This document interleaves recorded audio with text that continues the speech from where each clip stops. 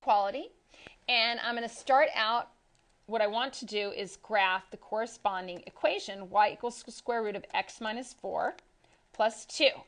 But I know that I need to find excluded values, and I know that x minus 4 must be greater than or equal to 0 since I don't want to have a negative radicand. I need to have values in the radicand that are 0 or greater. If I add 4 to both sides, I find that the domain is that x must be greater than or equal to 4. So I'm going to plot points accordingly. And I know that x can be 4. That's the smallest value I can give it.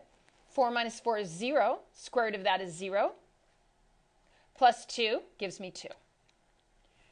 Okay, looking for perfect squares. A perfect square, you know, if I have 1, I can easily get the square root of that. So if I let x be 5 and I subtract 4 from that, I'm going to get 1. The square root is 1 plus 2 gives me 3.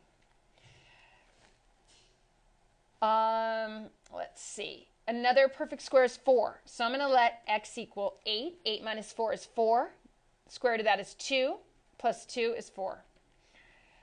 Perfect square, uh, another one would be 9. So I'm going to let x equal 13 because 13 minus 4 is 9. The square root of that is 3. Add 2 to that, that gives me 5.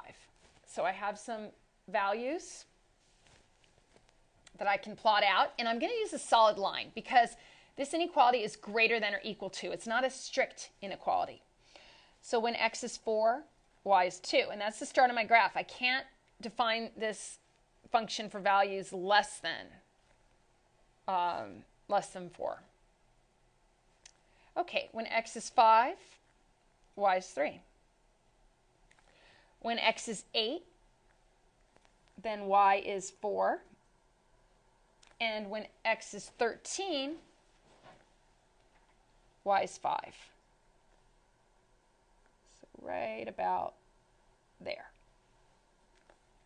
Okay. And this is a solid line that I'm going to use.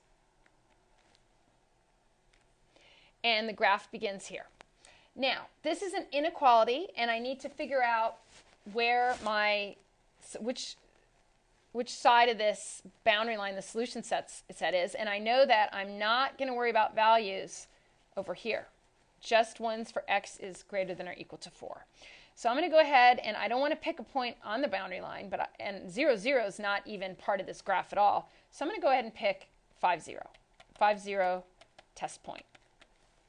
Okay, so test point 5, 0 for y is greater than or equal to x minus 4 plus 2. So when y is 0, let's see if this holds true. 5 minus 4 plus 2.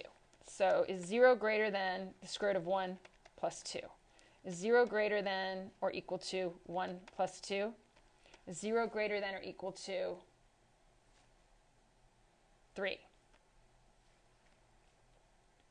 No, it is not. So the test point is not part of the solution set. This is not part of the solution set. So what I need to do is shade in this region of the graph above the boundary line, being careful not to go over here because that is not part of the graph. Those are not defined areas.